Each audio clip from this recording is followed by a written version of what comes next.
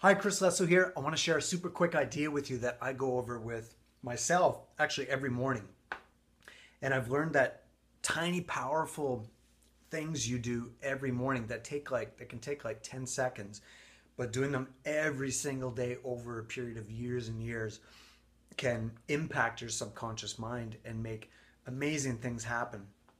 I think it's called the reticular activation system, RAS, where your brain kind of sees things that it's been thinking from that's been activated in the subconscious mind. Meaning if you are looking for a certain pair of converse or if you are buying a car all of a sudden you start seeing it every everybody's wearing those pair of shoes and everybody's driving that car that you're thinking of buying.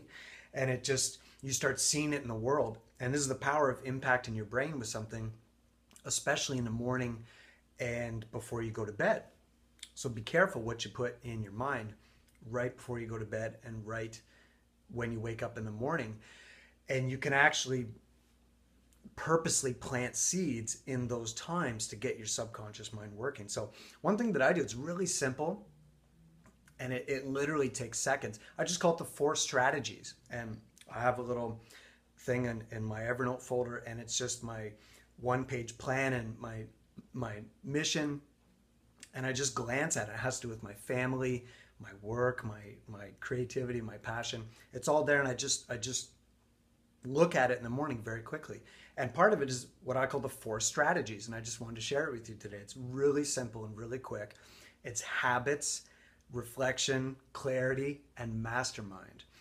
Habits, reflection, clarity, and mastermind. Four things four strategies. And it really, I, I just thought the, these are the four things that are going to get me to where I want to go. And it could be my goals in drumming, it could be my goals with my family life, could be my goals with something I want to create, pretty much with anything. And these are, I believe, such a long term goal.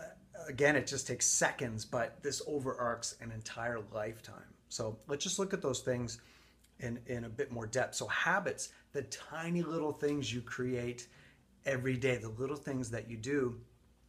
And I like to think of them as systems that kind of run on their own after a while from their own their own fuel because once a habit is installed it's actually harder to not do the habit than to do it which i'm sure you can think of little things like brushing your teeth and just just little things that you do that can be good habits or not so good habits and there's a great book. I can't remember the, the author right now, but it's yellow and red and it's called Habits. There's a great book called Willpower as well. And that talks about how things are not often done by willpower because that's a finite resource. So really once habits are running, and it could be little things like drinking a certain amount of water every day or writing in a journal or just smiling more, just little little tiny habits that over time really create unbelievable things over compounded over years and years and years such as drinking lots of water. Look what you know how will you feel when you're 80 or 90 if you do that over a lifetime. Eh, many people that know me know i talk about something called the three minute rule with drumming and music but this could be with anything fitness or just anything that you do. Just doing something for minimum three minutes a day. It's almost like you're tricking yourself you're going to do it just a tiny bit each day. It's almost like a little game you play with yourself, but you try to get a little bit every day. And these are really the habits, and habits really create our lives and who we are. I think it's the bricks of the building of who we become in our character and what we create in our life. Second one is reflect. I remember Obama saying, former President Obama saying, I need to take some time each day just to think. Now, you think you're busy. Imagine the President of the United States, right? the, the jam packed schedule that he must have had at that time. So, creating a little bit of time just to reflect, just to think and look back on things. I find with myself, I like to go, go, go. I'm, I'm, I'm a fast thinker and fast doer. And I, I really need to take just, just a few minutes sometimes to reflect put my phone on airplane mode and just and just create some space.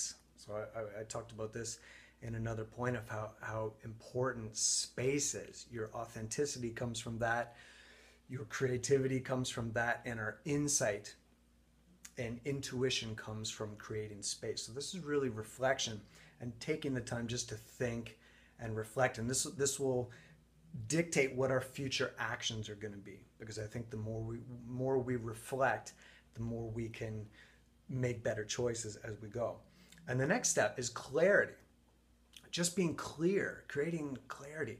And for me a big a big tool in clarity is detachment detachment, seeing things from a bird's eye view, not getting emotionally attached to things or seeing things too up close. I like to detach. And one thing that I like to do, like you can see my screensaver here, it says, You could leave life right now. So, one thing I learned was whether it's a screensaver or I heard this app called the Death Clock, and it actually ticks down by the seconds your estimation of when you probably are going to die. Most people live to be about 80 or 90. But keep your death up close. I think this bring this brings massive clarity. If you find yourself getting distracted or even sometimes when my mom calls and I'm um, I find myself getting oh my mom's calling at this time I got to answer this email and then to get the clarity if I detach myself and I think wow what if what if she died tomorrow what if, you know, what if this was the last time I was going to talk to her? It brings massive clarity to the situation because I can detach. So then I'm able to be present in the moment and actually connect with those people in my life that I love and do what's most important. So seeing things for what they really are, detachment, clarity in our life, sometimes with the whirlwind of, of what's going on, it's hard to see what's most important to be doing at that time. I find it's a big challenge. It's something I work on every day. And the last one is mastermind. And this concept, you can read the book Think and Grow Rich by Napoleon Hill. It's an awesome, life changing book. But the concept of like who you surround yourself with is who you become. You become probably the five people that you most spend time with, and even the five people that they spend the most time with. It all impacts you. And this is the phone calls you have, even even the, the, the people you watch on YouTube. You know, they, they might even be books you read. that could be long dead. but to me, it's it's the, you know the people you connect with, the people you choose to spend time with, the people you let into your kind of bubble of consciousness. So mastermind. And I like to spend time with people that that really push me to be my best self, to challenge me, and to bring me up to to who I can best be in my and my true potential. And a lot of times that goes with seeking people out and, and paying them. I mean, last year I had a great session with a bass player in Toronto, one of the one of the absolute best, and I just paid him hundred dollars for the hour, and and we jammed, and it was it was fantastic. And I look at that as the concept of mastermind. Like I want to be in close proximity with people that are going to kick my butt to be the best people I can be. And this is like my teachers, mentors, people I hang out with. It's it's an awesome concept. So habits, reflection, clarity, and mastermind. Think of how those are going on in your life and which are the weak areas and it's always in flux always changing.